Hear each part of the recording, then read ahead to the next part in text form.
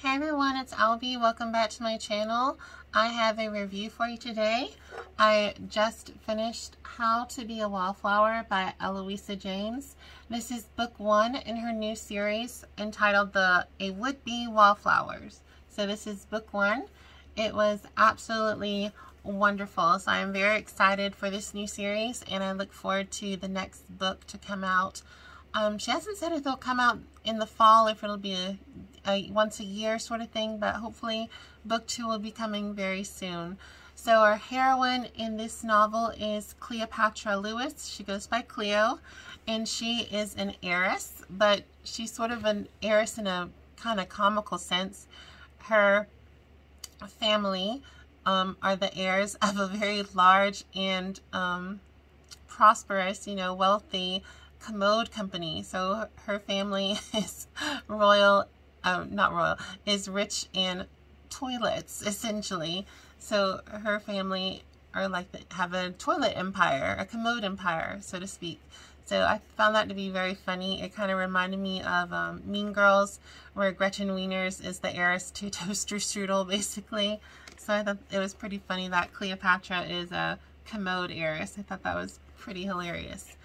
So she is coming into a new life, so to speak.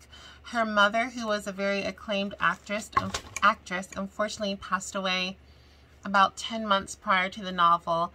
And with the passing of her mother, she has found some lost family members, including her living grandfather, who was a Viscount.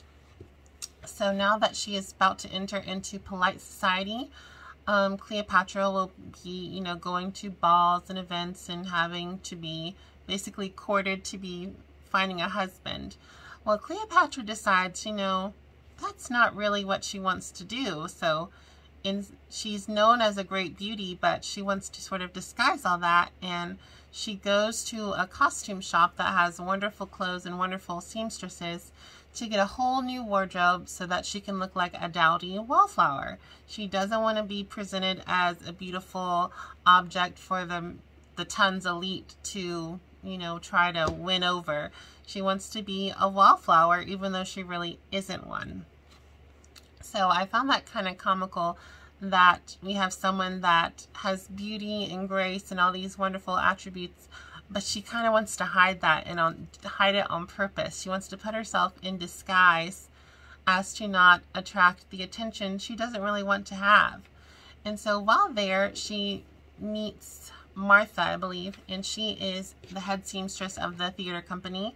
And I don't know if her mother performed at the company or if it's just sort of, you know, she knows the company because of her mother, etc but she strikes up conversation with Martha and the other seamstresses to find out that they are being forced to move to the Americas. You know, they have to leave England because this John, not John, Jacob, Jacob Astor Addison is taking over the company. He wants to hire the actors and all the best people to come to the Americas to set up a theater company there that's very renowned and prestigious like the Theater Emporium in London.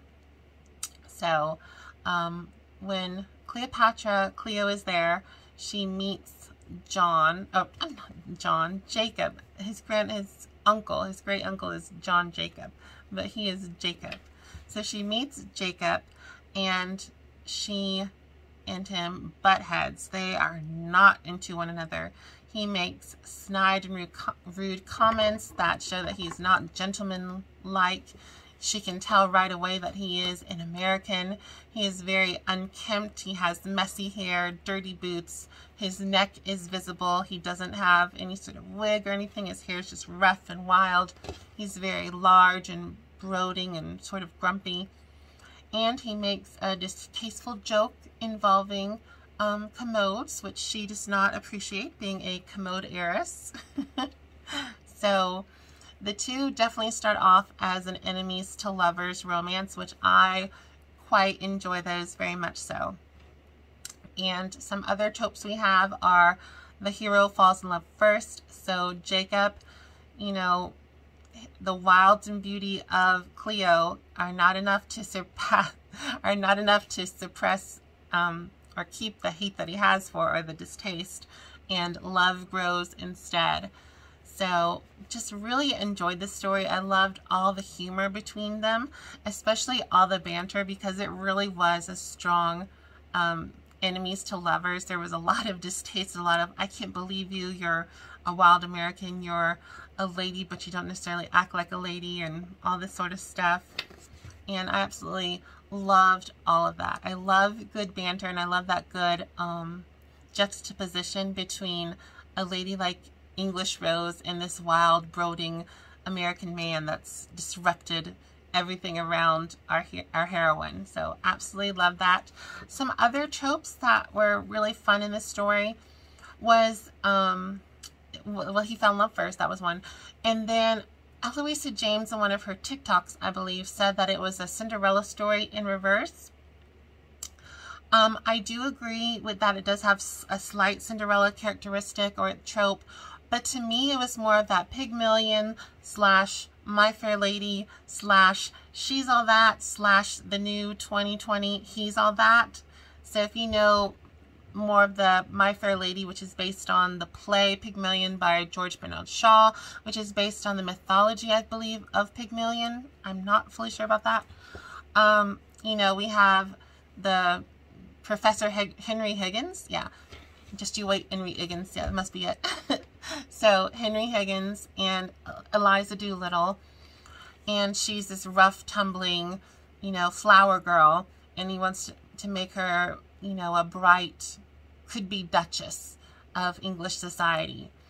And we sort of have that in the story with um, Cleo wanting to go from beautiful flower, could be Duchess, to a wallflower, you know, kind of dowdy, kind of like, what is she doing? She's in disguise, obviously. And then we have Jacob, and he sort of wants a makeover near the end of the story. So um, he wants to sort of show off to Cleo what she could be missing. He could be this dashing English gentleman. He doesn't have to be this wild, untamed American. And so he has Martha create a wardrobe for him to make him look more genteel. Well, are men genteel? I think so. Genteel and, you know, more appropriate for the lavish English society gatherings he'll be partaking in. So I haven't watched it, but I know, I think in 2020 or 2021, they did a gender swap of She's All That from the 90s, which is a modernization of My Fair Lady, aka Pygmalion by George Bernard Shaw, aka, you know, blah, blah, blah. Um, but um, I believe in that. He was also like this nerdy guy, and they made him, you know, hot for the prom court or whatever. I'm not quite sure. But I really did enjoy that trope of having the man sort of have to step it up in the looks department. I thought that was really refreshing. I hadn't seen that in a novel, let alone a romance novel. So I liked that Jacob had to sort of woo her with, um, I guess, not silly ideas, but frivolous, you know, beauty isn't everything and fitting into the society mold isn't everything but in a lot of novels, specifically romance novels, we have um, really sort of embraced the idea of women dolling themselves up to make it work for their surroundings. I mean, essentially that kind of is Cinderella. I mean, without having like the wicked stepmother and the mice and all that, it really is a girl just sort of doing a deep self-care day getting her hair done, her her makeup done, her dress on, and then bam, she's a princess, sort of, sort of thing. I mean, hope I didn't burst any Cinderella bubbles out there, but I mean, kind of, sort of what happens. But I like that in this story we had Jacob that had to sort of do the um, cringy, almost movie makeover moment, so to speak. But I absolutely loved that. I thought it was fun. Um, there were a few twists near the ends, but honestly, it was just a really fun, straightforward historical romance that I highly enjoyed. I don't know if this is a new trend, but lately the newer published romance novels have featured the characters using French letters or uh, condoms of some sort. So I don't know if they're trying to modernize a little thing, have people use protection because I usually in romance novels, like historicals, there's like no mention of condoms or anything usually. So, and that's sort of the reason why they'll get married pretty soon or whatever. So I don't know if that's a new thing or if it's, you know, being pushed by publishers, make sure people are being safe, especially the readers, you know, in real life, so to speak.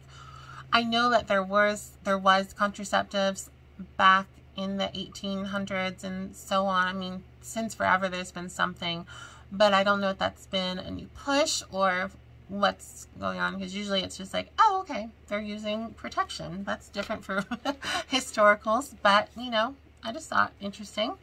Um, I will say there is um, the trigger warning for loss of parents. And like I said, it's uh, Cleo is pretty fresh from her mother's passing. So that might be a trigger you need to wait on for this story to enjoy. But I did enjoy that even though Cleo's mother has passed, she's sort of a character, especially in the head of Cleo. So Cleo's trying to live her life and she'll get these little blurbs from her mother that you're really funny. And the mother sort of knows what's going on and what's going to happen more, more, eh, more so than Cleo does. And so I like that the mother was sort of her compass in living in present life. And now that she's passed, she's still being this compass and guide for Cleo through her head and all that sort of stuff. So absolutely loved How to Be a Wallflower by Eloisa James. Um, it's a great start to a new series. I think people that have just finished season two of Bridgerton and really love the Kate Anthony dynamic of enemies to lovers and all that banter of, you know, annoyance they have with one another will really enjoy this book. And I definitely think y'all be seeing this in a few other um, collaborative videos I have been coming up. Um, there's some tropes that I really like, especially the heroine in disguise, which I talked about a few other books ago. So yeah, I hope you enjoyed this video. Don't forget to like, subscribe, as well as comment. You can also follow me on Instagram and TikTok at Albi Reading Romance. Have a wonderful day, and I'll see y'all soon. Bye, everyone.